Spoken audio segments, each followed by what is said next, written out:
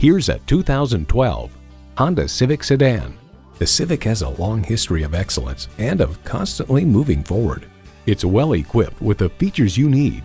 Streaming audio, wireless phone connectivity, manual tilting steering column, power windows, manual telescoping steering column, automatic transmission, power sliding and tilting sunroof, gas pressurized shocks, and inline four-cylinder engine.